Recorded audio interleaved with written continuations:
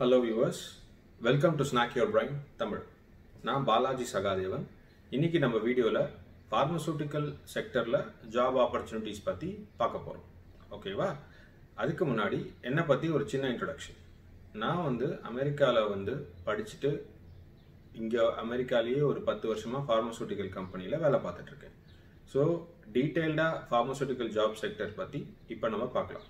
Okay முதல்ல இந்த pharmaceutical ஜாப்குள்ளே வரதுக்கு என்ன மாதிரி கோர்சஸ் படிக்கணும் அப்படின்னா ஃபஸ்ட்டு இம்பார்ட்டண்ட் கோர்சஸ் ஆர் நிறைய பேர் எடுக்கிறது ஃபார்மசி டிகிரி ஓகே அடுத்து engineering கோர்சஸில் chemical engineering or biotechnology biochemical engineering industrial biotechnology இந்த மாதிரி கோர்சஸ் அதுக்கப்புறம் பார்த்தோம்னா நம்ம science courses biochemistry microbiology chemistry இதர லைஃப் சயின்ஸ் கோர்சஸ் இந்த மாதிரி கோர்சஸ்லாம் நீங்கள் எடுத்தீங்கன்னா ஃபார்மசூட்டிக்கல் செக்டருக்குள்ள உங்களுக்கு வேலை பார்க்கறதுக்கு ஒரு ஆப்பர்ச்சுனிட்டிஸ் கிடைக்கும். ஓகேவா இந்த ஃபார்மசூட்டிக்கல் கம்பெனி வந்து ஒரு ஆறு டிவிஷன்ஸாக பிரிக்கலாம். ஒன்று வந்து ரிசர்ச் புது புது மருந்து கண்டுபிடிக்கிறது. அடுத்து வந்து டெவலப்மெண்ட் கண்டுபிடிச்ச மருந்தை லேபில் ஒரு சின்ன டெஸ்ட் டியூப்ல இருந்து பெரிய ரியாக்டரில் மேனுஃபேக்சர் பண்ண வைக்கிறது. மேனுஃபேக் இது டெவலப்மெண்ட் அதுக்கப்புறமா கண்டினியூஸாக கமர்ஷியல் ஸ்கேல் பெரிய ரியாக்டரில் பல்காக மேனுஃபேக்சர் பண்ணுறது மேனுஃபேக்சரிங் அதுக்கப்புறம் it comes to quality quality department தான் இந்த மூணு டிபார்ட்மெண்ட்டுக்கும் ஒரு முதுகெலும்பு மாதிரி ஒரு கண்ட்ரோல் பண்ணுற இது மாதிரி. ஏன்னா எல்லாமே குவாலிட்டியாக நடக்கணும் அது. அதுக்கப்புறமா ரெகுலேட்டரி டிவிஷன் ரெகுலேட்டரி டிவிஷன் என்னென்னா இந்த நாலு டிபார்ட்மெண்ட்டும் பண்ண வேலையை ஒழுங்காக டாக்குமெண்ட் பண்ணி அந்த டாக்குமெண்ட் பண்ணதை கவர்மெண்ட் ஏஜென்சிக்கு சப்மிட் பண்ணி அந்த மருந்து விற்கிறதுக்கான பர்மிஷனை வாங்குறது. ஓகேவா இந்த அஞ்சு டிபார்ட்மெண்ட்டும் பண்ணி முடிச்சதுக்கு அப்புறமா அந்த மருந்து கவர்மெண்ட் கிட்ட இருந்து அப்ரூவல் வாங்கினதுக்கு அப்புறமா விற்கிறதுக்கு சேல்ஸ் அண்ட் மார்க்கெட்டிங் ஸோ இந்த ஆறு டிபார்ட்மெண்ட் தான் வந்து ஒரு ஃபார்மாவில் ஒரு கீ டிபார்ட்மெண்ட்ஸ் ஸோ இதை ஆறாக பிரிச்சிடலாம். ஓகேவா ஸோ இது இதுதான் ஒரு ஸ்கோப் ஸோ நான் சொன்ன கோர்சஸ் பா டிகிரி படிச்சுட்டு கோர்சஸ் படிச்சுட்டு நீங்கள் ஃபார்மாவில் வேலை பார்க்கணுன்னா இந்த ஆறு டிபார்ட்மெண்ட்டுக்குள்ளே தான் நீங்கள் வேலை பார்க்கறதுக்கு வரும். ஓகேவா இதுக்கப்புறமா pharma job opportunity in India என்னென்னு பார்ப்போம். இந்தியா பொறுத்த மட்டும் ஃபார்மா ஜாப் இண்டஸ்ட்ரி வந்து ஒரு முப்பத்தி மூணு பில்லியன் டாலர் பெரிய ஒரு இண்டஸ்ட்ரி ஒரு இருபத்தேழு லட்சம் பேருக்கு வேலை கொடுக்குறாங்க. ஓகேவா ஸோ ஃபார்மா ஹப் நிறைய வேலை வாய்ப்பு இருக்கிற இடம் எதுன்னு பார்த்தா முதல்ல வருது ஹைதராபாத் பெங்களூர் அகமதாபாத். இங்கே தான் வந்து நிறைய ஃபார்மா கம்பெனிகள் இருக்குது இதை தாண்டி பார்த்தோம்னா மும்பை ஏரியாவில் நிறைய இருக்குது டெல்லி ஏரியா ஹரியானா ஏரியாவில் கொஞ்சம் இருக்குது அப்புறம் சென்னையில் இருக்குது அப்புறம் மேனுஃபேக்சரிங் யூனிட்னு பார்த்தோம்னா டாமன் அண்ட் டியூ ஏரியாவில் இருக்குது பாண்டிச்சேரியில் இருக்குது அப்புறமா கோவா ஸ்டேட்டில் நிறைய மேனுஃபேக்சரிங் கம்பெனி இருக்குது ஸோ இதெல்லாம் தான் ஒரு ஃபார்மசூட்டிக்கல் ஹப் ஃபார்மசூட்டிக்கல் ஆப்பர்ச்சுனிட்டிஸ் நிறைய இருக்கிற ஒரு ஏரியா இந்தியாவில் ஓகேவா ஸோ இது ஒரு முக்கியமான இது நான் என்ன ரொம்ப என்கரேஜ் பண்ணுவேன்னா படிக்கும் போதே இந்த ஃபார்மா கம்பெனிஸில் நீங்கள் ஒரு இன்டர்ன்ஷிப்போ இல்லை ட்ரைனிங்கோ நீங்கள் எடுத்தீங்கன்னா உங்களுக்கு ரொம்ப யூஸ்ஃபுல்லாக இருக்கும். நீங்கள் படித்ததுக்கும் நேரடியாக பார்க்கறதுக்கும் கற்றுக்கிறதுக்கும் உங்களுக்கு நல்லா லிங்க் பண்ணிக்க முடியும் உங்களால். ஸோ அது ரொம்ப நான் என்கரேஜ் பண்ணுவேன். ஸோ நீங்கள் படித்து முடிச்சுட்டு பேச்சுலர்ஸ் இந்தியாவில் படித்து முடிச்சுட்டு அப்படியே நீங்கள் ஃபார்மாவில் வேலைக்கு போனாலும் சரி நல்ல ஆப்ஷன் தான் அது.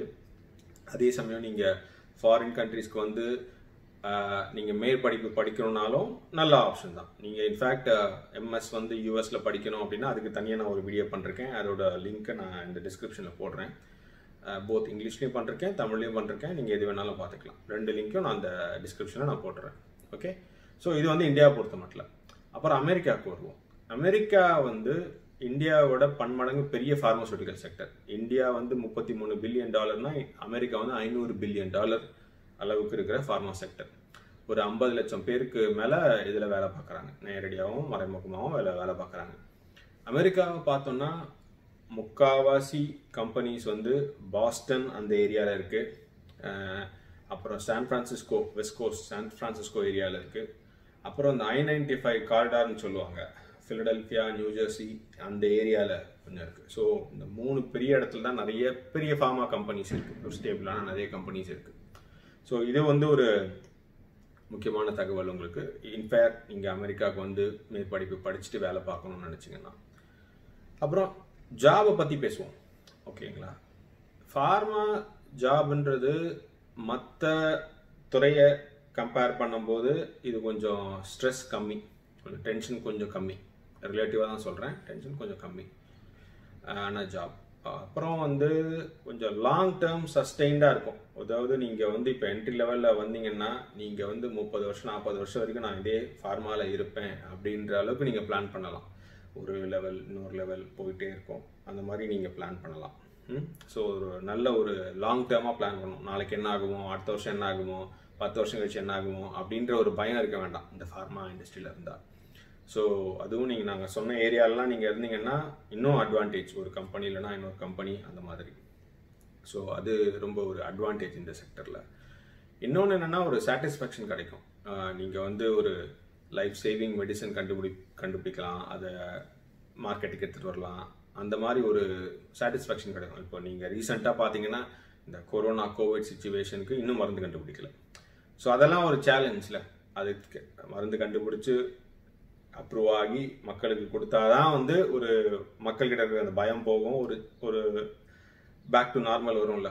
அது ஒரு சாட்டிஸ்ஃபேக்ஷன் அந்த ஒரு சாட்டிஸ்ஃபேக்ஷன் கிடைக்கும். என்ன பர்சனலாக எடுத்துக்கிட்டிங்கன்னா நான் வந்து நிறைய கேன்சர் மெடிசனில் ஒர்க் பண்ணிருக்கேன். லைஃப் சேவிங் மெடிசன்ஸ் ஸோ அது ஒரு திருப்தி. ஏன்னா மற்ற துறையில் இருக்கிறவங்க இதை மாதிரி பண்ண முடியாது. நான் அது பண்ணுறேன்ற ஒரு சந்தோஷம். அது ஒன்று இன்னொன்று பார்த்தீங்கன்னா என்னதான் இவ்வளோ பேர் நான் வேலை பார்க்குறேன் அப்படின்னு இல்லை பார்க்குறாங்கன்னு சொன்னாலும் இது இன்னும் ஒரு ஸ்மால் நெட்ஒர்க் ஆஃப் பீப்புள் தான். நீங்கள் இந்த துறையில் வந்துட்டு நல்லா வேலை பார்த்து உங்கள் பேர் நீங்கள் எஸ்டாப்ளிஷ் பண்ணிட்டீங்கன்னா உங்கள் பேர் நாலு பேருக்கு தெரிஞ்சிச்சுன்னா அதை வச்சு நீங்கள் படிப்படியாக கெரியரில் மேலே போகிறதுக்கு ஆப்ஷன்ஸ் இருக்குது நீங்கள் வேலை தேடுறதா இருக்கட்டும் இல்லை சைடில் என்ன ப்ராஜெக்ட் பண்ணுறதா இருக்கட்டும் எதனாலும். ஸோ இங்கே அது ஒரு அட்வான்டேஜ் இந்த செக்டரில் ஆமாம் அதுக்கப்புறம் லாஸ்ட்டாக நம்ம வந்து இந்த சேலரி விஷயத்தையும் பார்த்துருவோம். ஓகேவா ரினிமரேஷன் சேலரியையும் கொஞ்சம் பார்த்துருவோம்.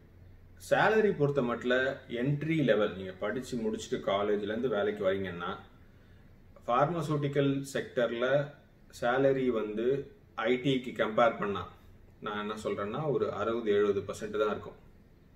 ஓகேங்களா என்ட்ரி லெவலில் ஆனால் போக போக போக ஒரு அஞ்சு டு ஏழு வருஷம் எக்ஸ்பீரியன்ஸ் ஆனதுக்கு அப்புறமா நீங்கள் ரெண்டு மூணு கம்பெனி மாறினீங்கன்னா உங்கள் சேலரி லெவல் இன்க்ரீஸ் ஆகிட்டே போகும். சில சமயம் டபுளாக கூட ஆகலாம். ஓகேங்களா? அது டைமிங்கை பொறுத்து நீங்கள் மாறதை பொறுத்து. ஸோ ஒரு டென் இயர்ஸ்க்கு மேலே எக்ஸ்பீரியன்ஸ்டாக இருக்கிறீங்க இந்த ஃபீல்டில் அப்படின்னா உங்களுடைய தேவை இந்த செக்டருக்கு ரொம்ப முக்கியமாகிடும் அதுக்கேற்ற மாதிரி நீங்கள் மூவ் பண்ணீங்கன்னா உங்கள் சேலரியும் இன்க்ரீஸ் ஆகும். ஸோ இனிஷியலாக கொஞ்சம் சேலரி கம்மியாக இருக்கும். அதை பார்த்து நீங்கள் இதுக்கு இந்த செக்டர் இல்லைன்றது முடிவுக்கு வந்துடக்கூடாது. அதுக்கு தான் நான் அந்த பாயிண்ட்டை ஸ்பெசிஃபிக்காக சொல்கிறேன் புரியுதுங்களா? ஸோ இதுதான் ஃபார்மசூட்டிக்கல் செக்டர் பற்றி என்னோட அபிப்பிராயம்.